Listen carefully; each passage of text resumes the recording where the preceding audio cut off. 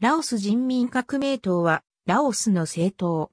ラオスの憲法第3条では、ラオス人民革命党を主軸とする政治制度と規定されており、同国唯一の政党として国家を主導する。社会主義、マルクス・レーニン主義、プロレタリアート独裁を党の綱領として掲げる一方、社会主義の枠内での経済の自由、解放化をも綱領に掲げている。インドシナ共産党ラオス地方委員会の党員であった海藻オンポムイハーンらによってラオス人民党が結成され、1955年3月22日に決闘大会が開催された。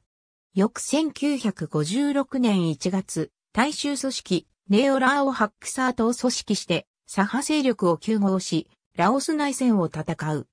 内戦末期の1972年2月3日から2月6日まで開催された第2回党大会において、党名を現在のラオス人民革命党に改称。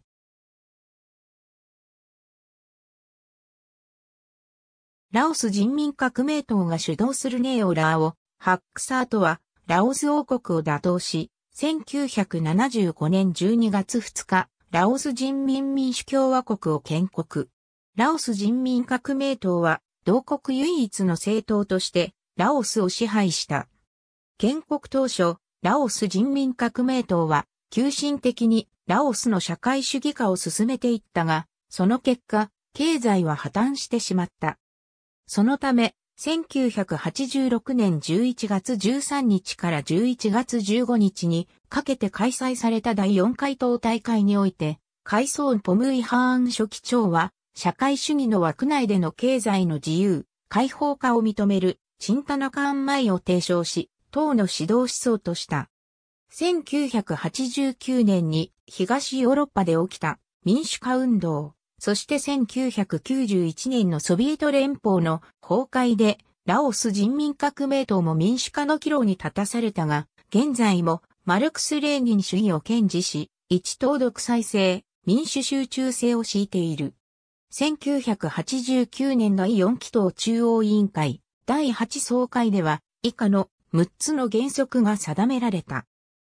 マルクス・レーニン主義を堅持し、新しい時代における我が国の革命の特徴を把握する。マルクス・レーニン主義は我が党の基本原則であり、我が人民のすべての義務を支持する党の指導は、我が人民の革命任務の勝利にとって決定的な条件である。民主集中原則にのっとった民主主義の向上と拡大、党指導下で人民を根幹とする人民、民主主義独裁の勢力と権威を拡大する愛国主義、国際労働主義、国際社会主義の連携、国力と自制の連携を行う。その後、マルクス・レーニン主義と並び、階層ポムイハーン思想が提示された。